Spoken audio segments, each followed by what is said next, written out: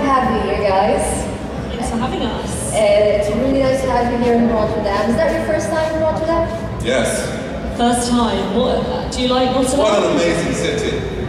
Are there people from Rotterdam here? Woo! One person. That's One it. person. Two. It's terrible. It's great. Did you guys have time to explore a little? Will you stay over after the um, Yeah, convention? I went to some stores yesterday. You have a Primark in Rotterdam. Who Hey, Primani.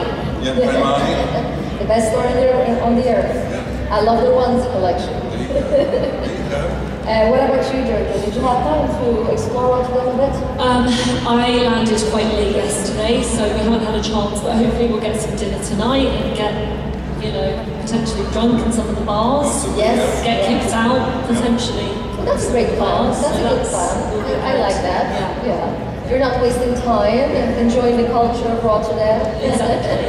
Yeah. Fair enough. Um, the Vikings have a beautiful fan base. I think the fans of the Vikings are one of the best fan bases that there are. Uh, did you ever have a chance to explore the fan art connected to the show? Did you ever have a chance to see the drawings, the paintings, the uh, side stories that the fan, uh, fans make up? Uh, and if you did, can you share it with us? I have seen a lot of fan art tattooed on people, uh, which is amazing. I, I always find I can bear, barely look at myself in the mirror sometimes. The fact that people have got my face tattooed on them Good, is they've got them on you. yeah, They've is you on them. yeah, Wow. that is quite amazing. I mean, incredible drawings, but yeah, I, I'm still in shock that someone would love the character so much. It's obviously extremely flattering, uh, and people are just so talented. I wish I could draw, and I can't. I actually have, I don't know if Casey is in the audience. Are you in the audience, Casey? Casey? No. She's asked me to draw a picture to get tattooed on her today, so I'm having some serious nerves What kind of picture? Like, I don't know, but I, I'm gonna. Self-portrait. I mean, it's not gonna be cute if that's what she wants. well, you can always go the like Phoebe from Friends style and throw a, a dot. Dots. Yeah, I it's think like that a might be bird it. from far, far away. That might be it. Yeah, That's, that's you know, that's the best choice. that might be the only option.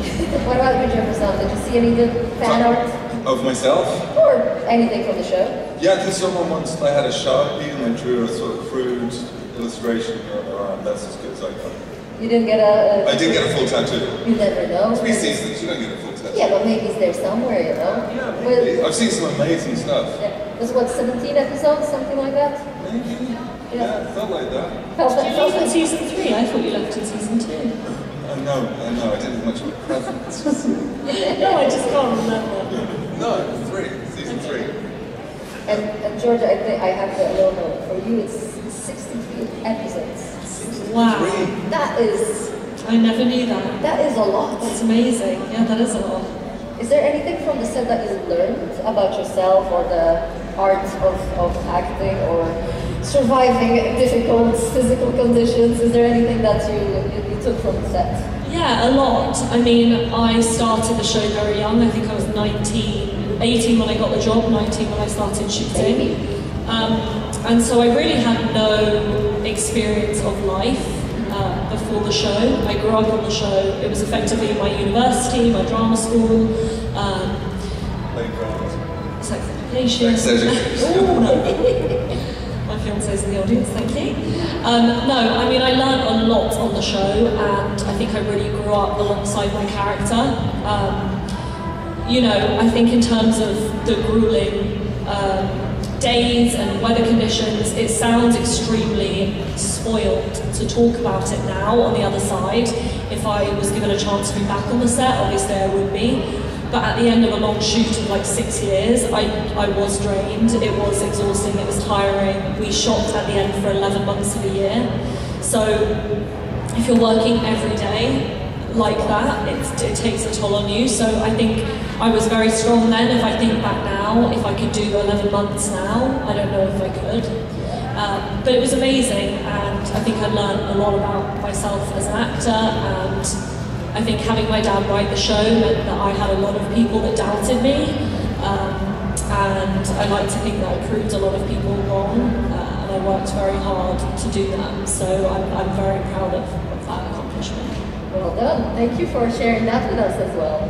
Uh, and for you, Jefferson, anything that you learned from those short 17 episodes? Yeah, I think if you put sort of 10 guys and give them money together in Ireland for 10 months and give them swords, and things would happen. It's fun. Uh, yeah, we had a lot of fun. But I think the camaraderie shooting that show was very sort of rootsy. We were sitting in the mud, you know, a lot of the battles weren't terribly rehearsed. It was quite dangerous, but a real bond between the actors. Beautiful. Did you have to uh, sign disclaimer? We should have done this, and it's very dangerous. But um, so with on all of the panels this today, I don't know if it's something in the air, something in the wa- water, but what we discovered, uh, we were talking about the bonds that were created on the set, and that's how how it translated to the show and how it translated on the screen for us to watch, and what makes those shows special. And I think that's so visible in Vikings. That the bonds that you guys created Yeah. are so crucial, and we can we can feel it. We can. th- This is the authenticity that we can we can see. Is there still people that you hang out with, hang out with, or you have the bond, or you spend Christmas together after the show? Yeah, I, yeah. I lived with Ragnar for like two years during COVID. We nearly killed each other. But um, I think that bond was because a show like that started from nothing. Yeah. You know, so there was no ego. There was no room for ego as well. And being an island particularly, they're very grounded people. So you can't kind of walk around being, oh, I'm an actor, I'm this. It was like everybody was on a level playing field. Like, There's no stars in yeah, the show. no stars. Apart from me. You're the biggest star.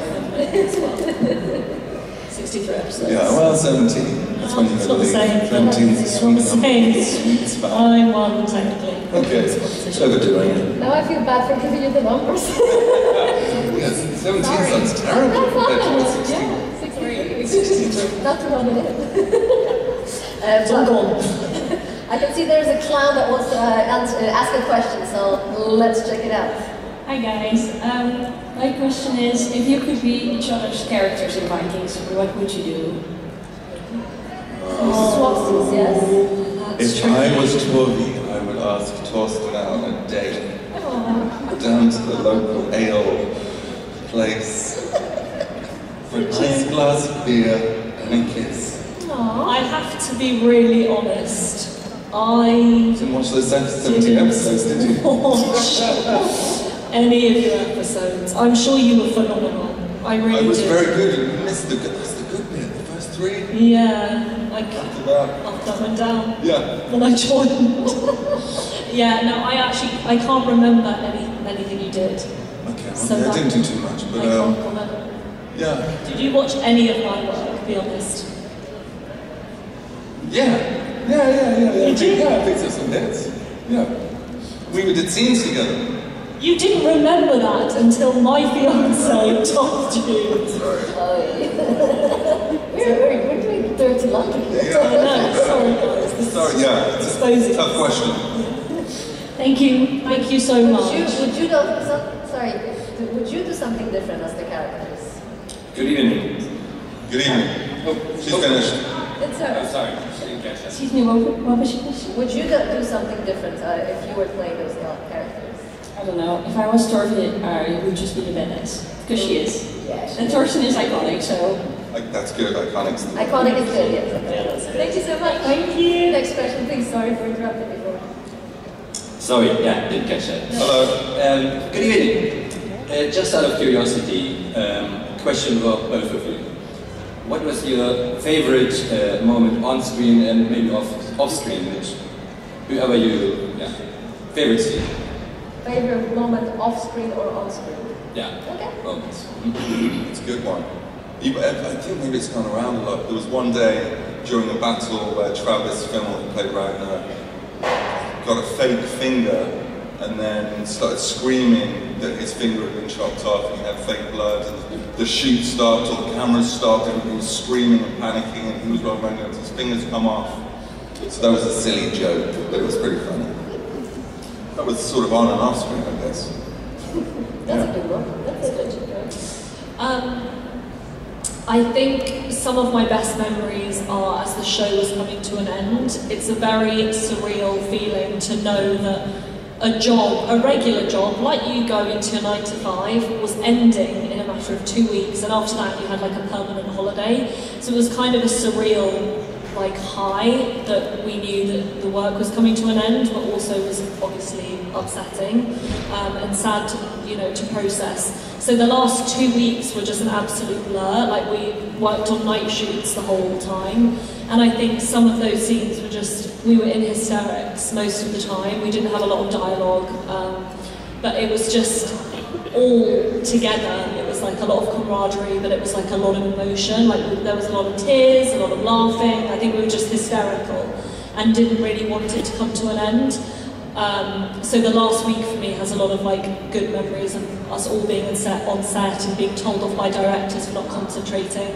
We seemed to think it didn't really matter because the show was almost finished. Um, I think when I watched it back, I kind of thought I probably wasn't concentrating enough in some of those scenes, but um, I think that's the result of being on a show for many years and being like overly tired. But yeah, the last couple of weeks have uh, kind of good memories and you know, for me. The battles, the battles are great. You do a battle, we'd rehearse it, and then say action, and then you'd hear someone screaming, "Cut! Stop! Stop! You idiots!" And like continue fighting. All these Irish extras, like a hundred of them, would be like rolling in the mud, people breaking their arms. It was phenomenal. That sounds fun. It was great. Very interesting. Thank you. Thank you so much. Thank you. Thank Thank you. you. Thank Thanks you. very much. Next question, please. What's your favorite Dutch food? So far, the McDonald's was very good here. I had a really good McDonald's yesterday. I think it's got a cheeseburger. Yeah. It was good. What did, what happened? We only just got here yesterday. Well, I did. Um, Have you never tried stroopwafel? No, it sounds terrifying. What is it? no, it? it's the little waffly thing. It's It's a really thing, yeah. Oh, like a You biscuit. have to try one. I've There's one in my room on my bed. Yeah, they're really good. Yeah. Thanks Really? so much. Yeah. Yeah. Oh, sorry. Okay. yeah, thanks so much. Thank you very much. Thank you. Yeah, the waffles are really nice. So you can put them on top of the hot coffee or tea and Yeah. the caramel inside melts all over. Ooh. Yes, very good. Go ahead. Hello. So my question is for Jefferson. I'm sorry, Georgia. It's okay, I forgive you. on Go this for the icon. Start with the icon. Oh, whatever. So um, I think George's that's quite iconic, Good, like yeah. from build up to finish. Mm. Did you know what was going to happen? And did you have any input or I had a lot of input in my dad. Yeah. Yeah, in the process of like Yeah, there was. Yeah, I think there was a lot of talk. Often on the show, there was a producer called Keith Thompson. The Angel of Death. The Angel of Death used to be called it because he would, if you saw the producer come to set and he called you up and said, "Can I speak to you?" you're like, "Shit, that's it. The tap's been cut off." Because it wasn't going to be my dad. My dad No, never had the balls to tell put his arm anyone. Yeah. it, With his pen, like. Yeah. So yeah, I got killed three times, I think, and then made it back to pay my rent for another year. And so that death, what I knew was final. And um, I think Clive wanted me to ride on his back. Being Clive wanted it to be a scene with Rollo. So I had to fight quite hard for that not to be a scene where I rode on his back. Fortunately, I got to like, you know, another moment in the sun. Yeah. So you did have some creative control. A lot, a lot. I think I should have had a writing credit on the show. There you go. Just a little, it's online. just a little bit of extra uh, cash for that Yeah. as well. Thank you so much. Thank you. Next question. Hello, guys. Hi, Tasha. Hi, Jefferson.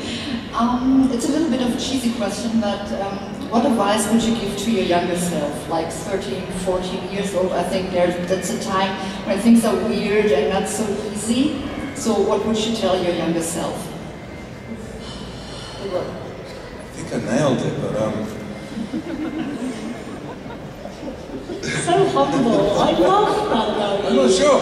Um, I, I know what I would say. you know, That it's not going to go down well. I would say don't be an actor. Ooh. Yeah. I didn't start till I was 25, so I, you couldn't say that to yourself. I couldn't say that to myself, so be an actor. So if you want to speak to your 25 year old self, what would you say? Don't be an actor. there we go. No. Um, no, I would say like probably it's a very hard profession. As in, I don't regret any decisions I've made, but I would say think about longevity.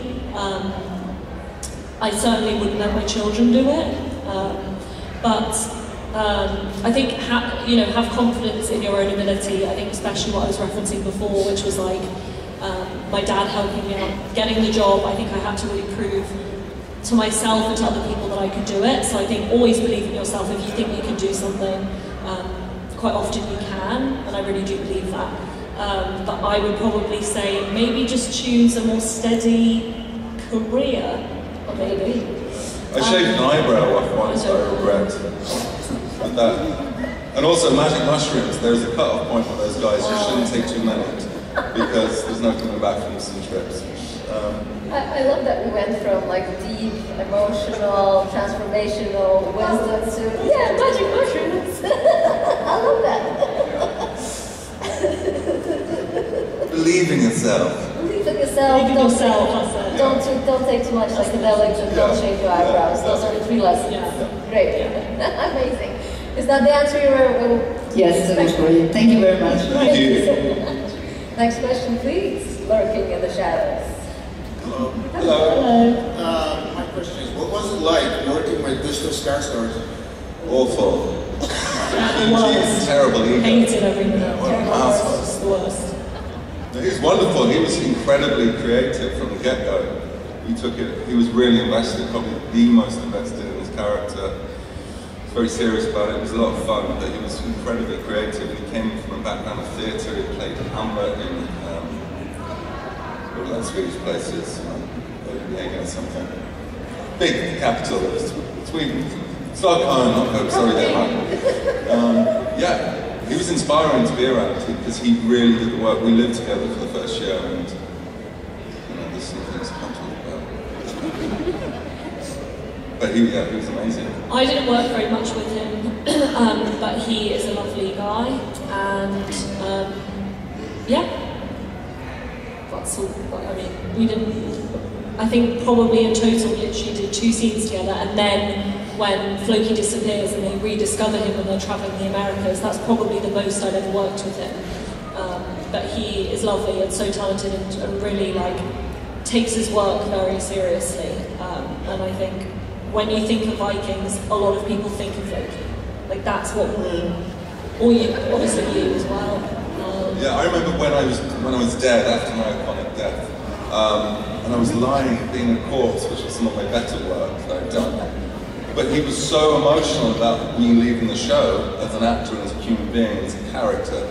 He cried, and I remember looking, sort of being dead, and, and he was really crying. Oh, I was like, he, he's actually he's He doing you, this. yeah. It's incredible.